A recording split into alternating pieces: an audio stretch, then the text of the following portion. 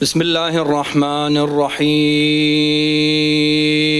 صلى الله عليك يا سيدي يا رسول الله. صلى الله عليك وعلى أهل بيتك المظلومين.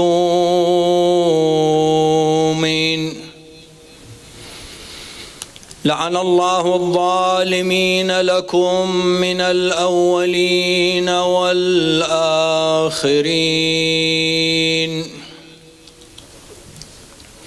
صلى الله عليك يا مولاي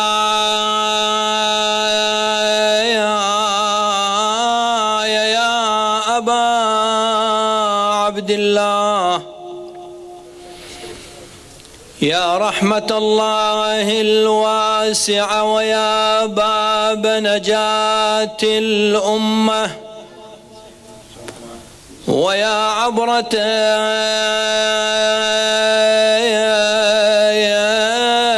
كل مؤمن ومؤمنة غريب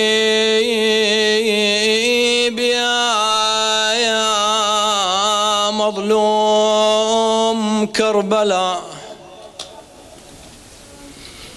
ما خاب والله من تمسك بكم وأمن من لجأ إليكم سادتي.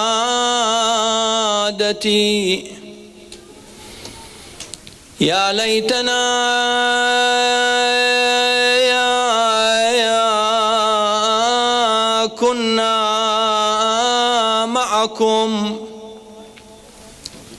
فنفوز فوزا عظيما.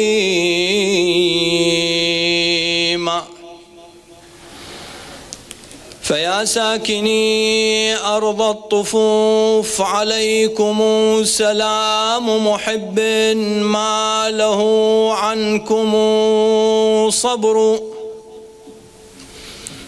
فذلي بكم عز وفقري بكم غنى وعسري بكم يسر وكسري بكم جبر فعيناي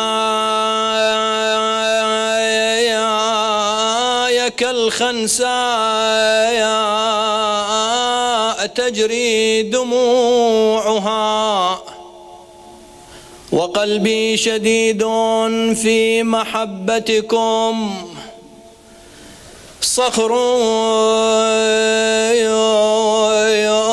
وقفت على الدار التي كنتم بها.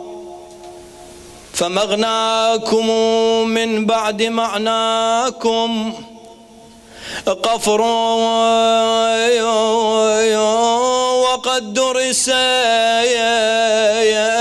فيها الرسوم وطالما بها درس العلم الإلهي. هو الذكر إمام الهدى صبط النبوة والد الأئمة رب النهي مولى له الأمر إمام أبوه المرتضى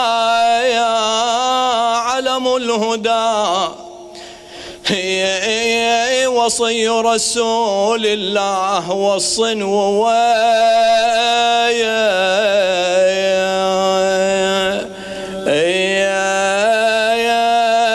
الصهر إمام بكته الجن والإنس والسماء. ووحش الفلا والطير والبر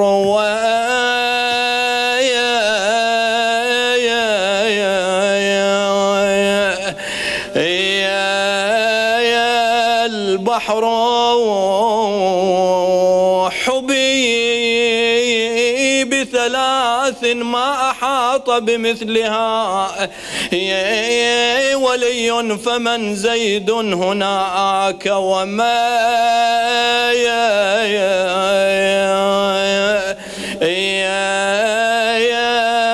عمرو له قبة في فيها الشفاء وتربة فيها يجاب الداعي إذا مسه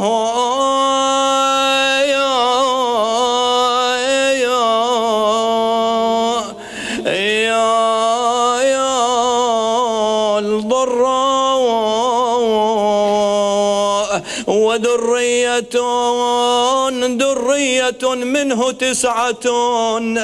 يا أئمة حق لا ثمان ولا يا يا يا, يا عشر. يقتل حسين حسين. بكربلاء وفي كل عضو من أنامله بحر. هذه القصيدة كلما قرأت كما ورد أصحابنا وعلماؤنا عنهم أنه يحضر فيها الإمام الحجة عجل الله تعالى فرجه الشريف.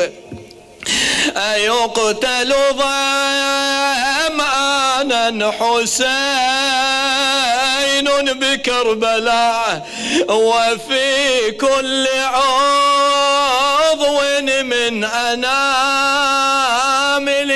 بحر ووالده الساقي على الحوض في غد وفاطمة ماء الفرات لا مهر. لا حول ولا قوة إلا بالله.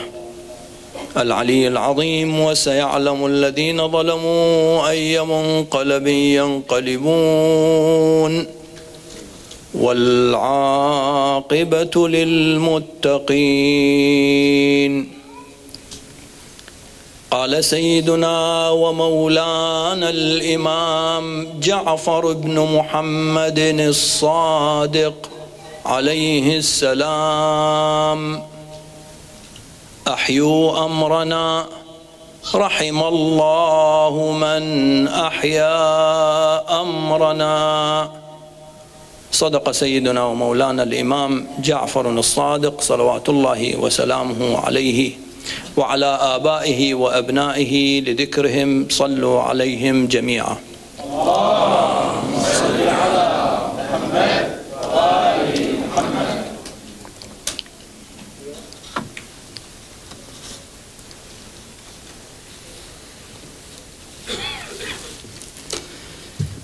الحمد لله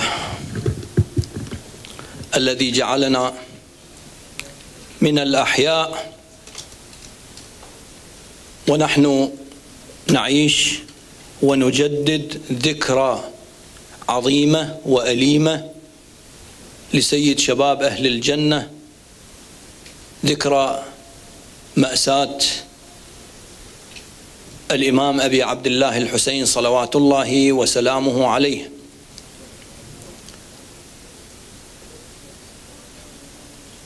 الجنود تحشدت والأقلام المأجورة انسلت وبدأت تكتب. والأصوات النابحة بدأت تزعق وتنعق لمحاربة هذه الشعائر. ولمحاربة هذا الذكر ولمحاربة صاحب هذه الذكرى وهو الإمام أبي عبد الله الحسين. فأولئك القوم شحذوا سيوفهم ضد الإمام الحسين. وما شحذوا سيوفهم إلا بعد أن سمعوا مقالة علماء السوء في أن الإمام الحسين صلوات الله وسلامه عليه خرج على دين جده فلا بد أن يوقف عند حده. وتجد الإساءة للإمام صلوات الله وسلامه عليه وتلاحظ أن البعض يأتي ويستعرض هذه القضية ويقول الإمام الحسين حينما أراد أن يخرج لم يستمع إلى نصيحة الناصحين وطالما جاءه عقلاء القوم وكبار القوم ونصحوه ولكن لم ينتصح فخرج واعتمد على مجموعة من الكتب أرسلت إليه من العراق ومن ومن الكوفة بالتحديد واعتمد على هذه الكتب واستجاب لمن كتب إليه بالقدوم. وهذا يعتبر نفسه عالم يعتبر نفسه يفهم الموازين ويحاول أن يقيم الإمام الحسين من خلال كلمات. كلمات معسولة لا ينخدع بها إلا من كان هناك غشاء بينه وبين الحقيقة. من كان رين على قلبه ولا يفهم الحقائق والأمور التي جاء من أجلها الإمام أبي عبد الله الحسين صلوات الله وسلامه عليه. وهكذا حاولوا تشويه هذه الحقيقة. وحاولوا بيان أن شهر محرم ماذا يعني بالنسبة لنا وماذا يعني بالنسبة للآخرين. الآخرين حاولوا أن يغيروا مفاهيم هذا الشهر. الأمر الأول الذي حاولوا طمس معالم قضية الإمام الحسين ماذا؟ قالوا إن هذا الشهر وهذا اليوم هو بداية السنة الهجرية الجديدة.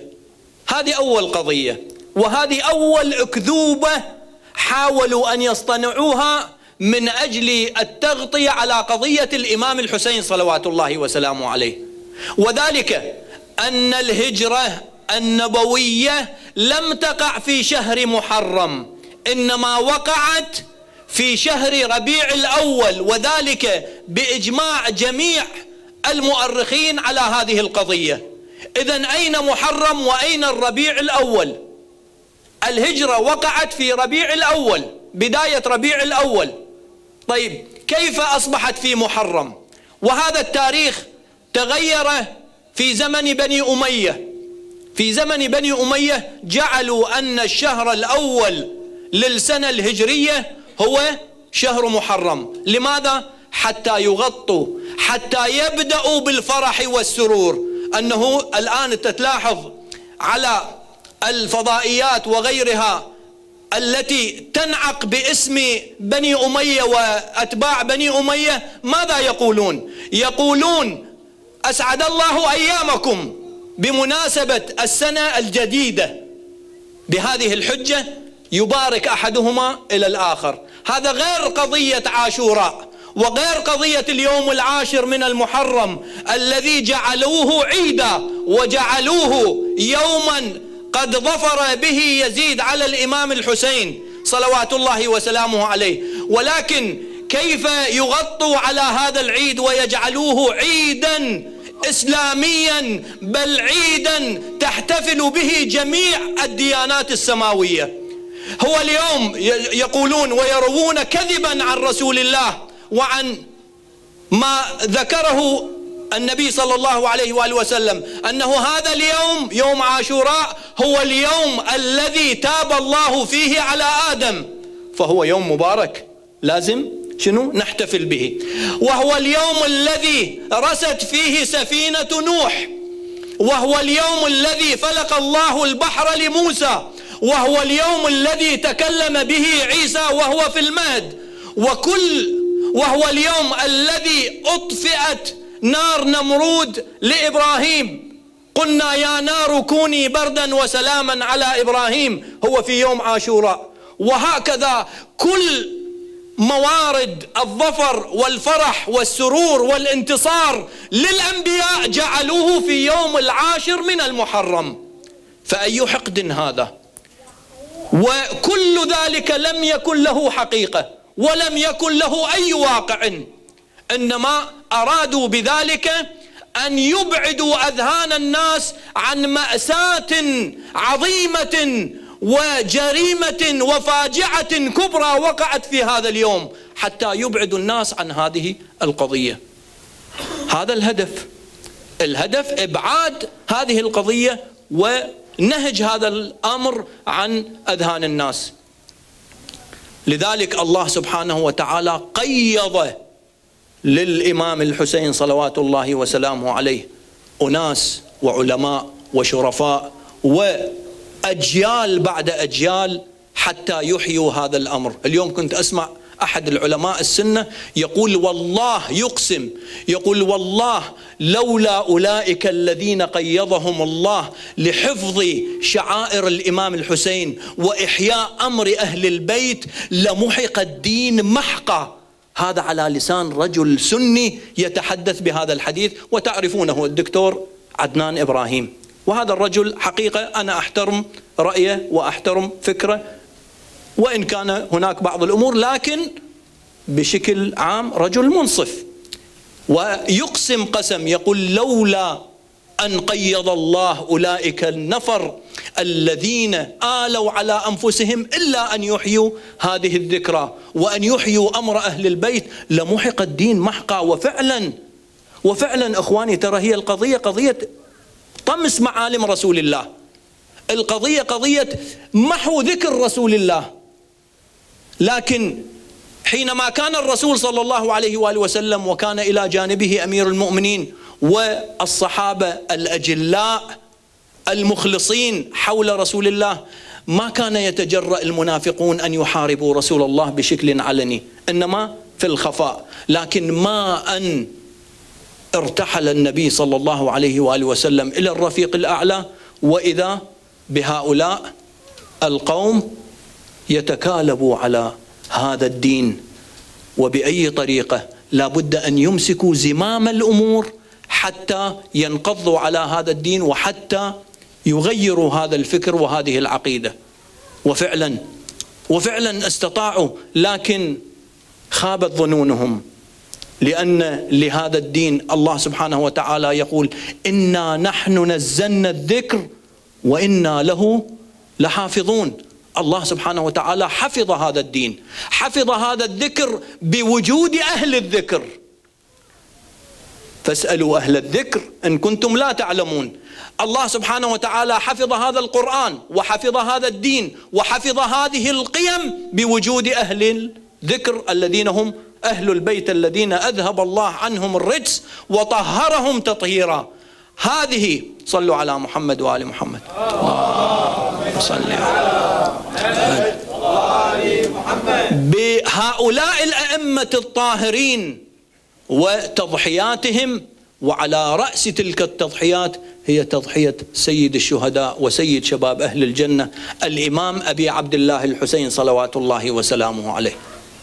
هذا من ناحية، من ناحية ثانية أنتم لو تقولون أن هذا الأمر وهذا الشهر هو أول أشهر الهجرية.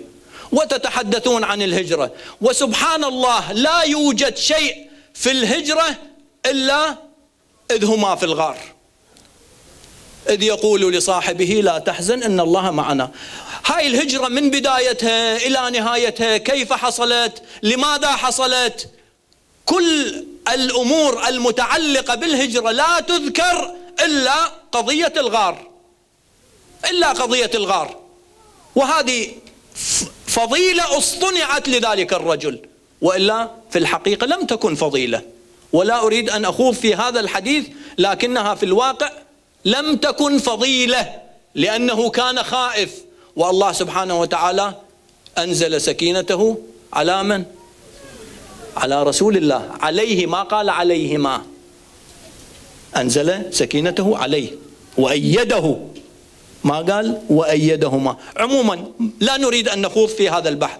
لكن هل أن الهجرة كلها قضية الغار وما أشبه؟ مسببات الهجرة. وإذ يمكر بك الذين كفروا ليثبتوك أو يقتلوك ويمكرون ويمكر الله والله خير الماكرين. هؤلاء كانوا يتآمرون على رسول الله حتى يقتلوه الله سبحانه وتعالى أخبره بذلك وأمره بالهجرة. فجاء النبي الأعظم صلى الله عليه وآله وسلم إلى أمير المؤمنين وأمره أن يبيت في فراشه. ما يذكرون هذه القضية أبد ولا كأنه هاي القضية صايرة. وهي هذه بداية الهجرة وهذه أصل الهجرة. زين أنت مو تقول سنة هجرية؟ تحدث عن هذا الموضوع. أبد سبحان الله. عميت أبصارهم وأعينهم وقلوبهم. عمى البصر والبصيرة عندهم. لذلك النبي صلى الله عليه وآله وسلم يأتي إلى الإمام أمير المؤمنين صلوات الله وسلامه عليه ويقول له أن الله سبحانه وتعالى أمرني أن أهاجر وأمرني أن تكون أنت في مكاني تبيت في فراشي. فماذا يقول الإمام أمير المؤمنين؟ روحي فداة. لا يهمه شيء أنه سوف يهجم القوم عليه أو يقتلوه أو يفعلوا ما يفعلوا وهو شاب في ريعان الشباب. يا رسول الله أو في سلامة منك؟ يهمه سلامة رسول الله. أو في سلامة منك؟ قال بلى. قال فداك نفسي. يا رسول الله. وإذا بأمير المؤمنين يأتي ويبيت في فراش رسول الله صلى الله عليه وآله وسلم. والقوم يأتمرون والمؤامرة ضخمة. كيف؟ أنه اختاروا عشرة من كافة القبائل ينقضوا على رسول الله ويهجموا هجمة رجل واحد وكلهم يشارك في قتله حتى يتوزع دمه بين القبائل. بعد ما ما بالإمكان يأخذون بثاره. منين يأخذون ثار؟ من قبيلة من قبيلتين من ثلاثة من عشرة. فيضيع دم الرسول صلى الله عليه وسلم. هذا كانت المؤامرة بهالكيفيه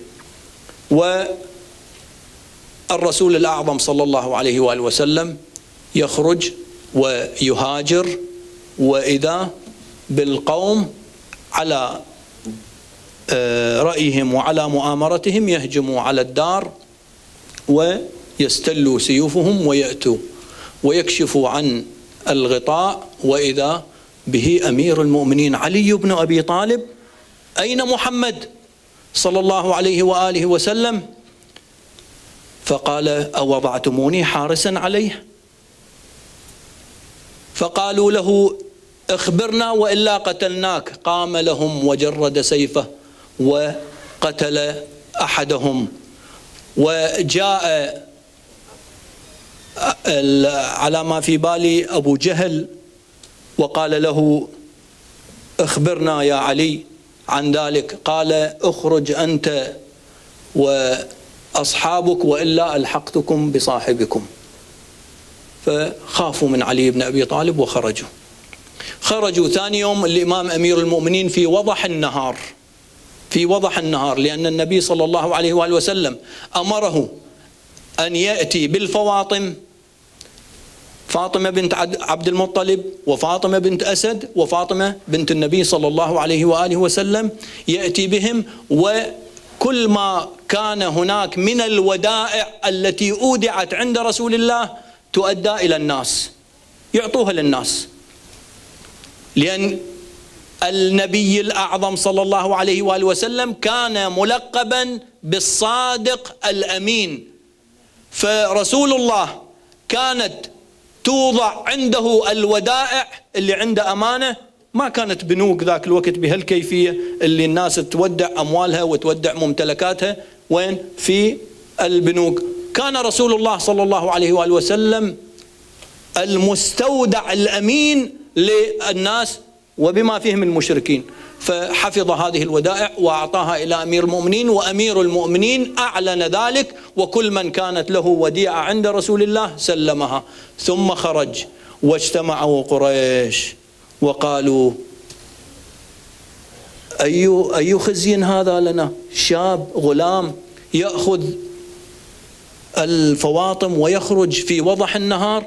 خرجوا خلفه أرادوا قتاله قتل أحدهم عموما القضية مطولة لكن الإمام أمير المؤمنين استطاع أن يرجع أولئك وواصل الطريق. طيب هذه قضية في الهجرة تذكر؟ لا لم تذكر. هل يذكر أن رسول الله صلى الله عليه وآله وسلم حينما أراد أن يدخل حينما وصل المدينة على أطراف المدينة. هل دخل المدينة؟ لم يدخل المدينة.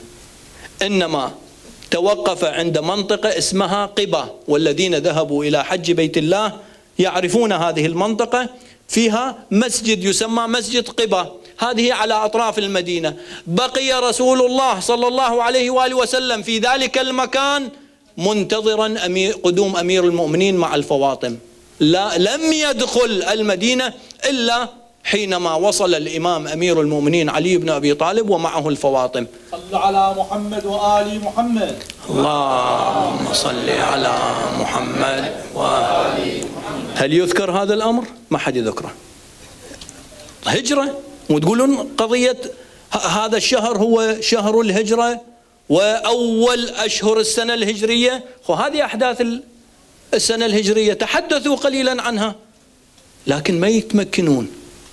إنما جاءوا لطمس معالم الدين يريدون ليطفئوا نور الله بأفواههم ويأبى الله إلا أن يتم نوره. ولو كره الكافرون ولو كره المشركون. ما بإمكانهم. لأن حماية الأئمة صلوات الله وسلامه عليهم أجمعين لهذا الدين هي التي حفظت هذا الدين. و وقوف الإمام أبي عبد الله الحسين صلوات الله وسلامه عليه، لذلك نحيي هذا الأمر نحن. نحيي هذا الأمر. الإمام الصادق صلوات الله وسلامه عليه يقول: أحيوا أمرنا. رحم الله من أحيا أمرنا. وأول قضية وأول أمر دعا له رسول الله وأمير المؤمنين وفاطمة الزهراء والإمام الحسن والأئمة التسعة المعصومين من ذرية الإمام الحسين جميعهم نادوا بقضية الحسين. كلهم كان ينادي بقضية الحسين. ويدعو لذكر الحسين ويدعو لإحياء ذكر الحسين ويدعو لإحياء شعائر الإمام الحسين. هذه قضية مسلمة عند الجميع. لذلك إحنا حينما نحيي ليش تنزعجون؟ ليش ينزعج البعض حينما نحيي هذه الذكرى؟ حينما نقول أن الإمام الحسين صلوات الله وسلامه عليه بسببه بقي الدين قائما إلى يومنا هذا وإلى يوم يقوم الإمام الحجه عجل الله تعالى فرجه الشريف ويرفع راية النصر ورايته هي يا لثارات الحسين. هذه القضية مستمرة والدعوة إلى نهج الإمام الحسين وطريق الإمام الحسين وفكر الإمام الحسين وقضية الإمام الحسين. النهضة المباركة التي قام بها الإمام الحسين لا بد من أن نحييها لأن بذلك تشملنا رحمة الباري عز وجل. رحم الله من أحيا أمرنا. وأيضا الإمام صلوات الله وسلامه عليه يقول أحد الرواة واسمه معاوية بن وهب يقول دخلت على الإمام الصادق صلوات الله وسلامه عليه رأيته ساجدا. وهو يقول اللهم ارحم تلك الوجوه التي غيرتها الشمس. اللهم ارحم تلك الوجوه التي تتقلب على قبر ابن بنت نبيك. هكذا كان يدعو الإمام صلوات الله وسلامه اللهم ارحم الأعين التي تسيل رحمة لنا. وهكذا الإمام الصادق صلوات الله وسلامه عليه. ما من مناسبة إلا ويربطها بقضية الإمام الحسين. أي قضية أي مناسبة تصير إلا ويذكر الناس بقضية الإمام الحسين صلوات الله وسلامه. وهذا ليس ديدا الأئمة ديدا رسول الله صلى الله عليه وآله وسلم. الرسول صلى الله عليه وآله وسلم على المنبر. يدخل الحسن والحسين. فينزل من على منبره. إخوان ترى قضية هذه مو قضية أنه جد وأحفاد وعاطفة أبوة موجودة. هذا موجود. لكن النبي الأعظم صلى الله عليه وآله وسلم يريد أن يشير إلى عظمة هذين الإمامين. ينزل من على منبره ويتخطى رقاب الناس حتى يصل إليهم. يأخذهما ويحملهما ويضعهما ويصعد بهما على المنبر ويضعهما على فخذيه. ويجعل يديه على رأسيهما ويقول الحسن والحسين ريحانتاي من الدنيا. الحسن والحسين وديعتي في أمتي. وكيف حفظت هذه الأمة هذه الوديعة؟ بالله عليك حفظت هذه الوديعة. هذه الأمة حفظت هذه الوديعة. أي إنسان تجعل عنده وديعة؟ من الأخلاق من القيم أن يحافظ على هذه الوديعة. هل حفظوا هذه الوديعة؟ لم يحفظوا وديعة رسول الله. كل مناسبة. في يوم من الأيام رسول الله يأتي أم سلمة تروي هذه الرواية وينقلها الطبراني والزمخشري ينقلون هذه الرواية. يقولون أن أم سلمة تقول دخل علي رسول الله وهو متعب. قال أريد أن أدخل الحجرة فلا تدعي أحدا يدخل علي. والعبارة اللي كان كاتبيها أنه اجلسي عند باب الحجرة. على كل حال لا تدعي أحد يدخل علي تقول بينما أنا كذلك وإذا بالحسين يأتي. تقول ما قدرت أن أمسك أمامه وإذا بالحسين طفل صغير استبقني ودخل على رسول الله. تقول أنا انحرجت شلون رسول الله أوصاني أنه ما أدخل علي أحد. دخلت حتى أخرج الحسين. تقول دخلت وإذا رأيت الحسين على صدر رسول الله يقبله ويبكي. ففي هذه الأثناء تقول سألته لم تبكي؟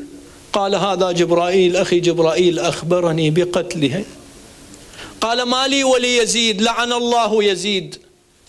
ما لي ولي يزيد؟ وأخذ يلعن يزيد. وتقول كان يقبل الحسن تارة من وجهه وتارة من فمه وتارة من نحره. وأيضا في يوم من الأيام الحسن والحسين دخلا على رسول الله. دخل على رسول الله فاستقبلهما كالعادة رسول الله وأخذ الحسن وقبله من فمه وأخذ الحسين وقبله من نحره. كرر هذه الحالة. هذه الحالة لفتت نظر الإمام الحسين. جاء إلى أمه فاطمة الزهراء وقال لها أماه شمي فمي هل تجدين فيه رائحة؟ تشم فمه وإذا هو أطيب من المسك والعنبر. فتقول له لا يا ولدي. قالت قال لها إذا لماذا جدي يقبل أخي الحسن من فمه ويقبلني من نحري؟ يقول تقول الرواية جاءت فاطمة الزهراء ومعها الحسن والحسين وجاءت وقالت له أبا يا رسول الله لماذا تجعل الحسين يبكي؟ قال ومما ذلك؟ قالت تقبل أخاه الحسن من فمه وتقبله من نحره. قال نعم بني قبلت الحسن من فمه لأنه سوف يقضي مسموما شهيدا. وقبلت الحسين من نحره لأنه سوف يقضي مذبوحا. قالت له أو يكون ذلك؟ قالت نعم قال لها نعم. قال لها ومتى يكون ذلك؟ قال في زمان يخلو منك مني ومنك ومن أبيه ومن أخيه. قالت إذا أبا من يقيم العزاء عليه. قال لها بني اعلمي إن الله سبحانه وتعالى سوف يخلق له شيعة جيلا بعد جيل يقيمون العزاء عليه فأنا أشفع لرجالهم وأنت تشفعين لنسائهم. بينما الزهراء تسمع بهذا الخبر تلطم رأسها وهي تقول وولداه وحسينا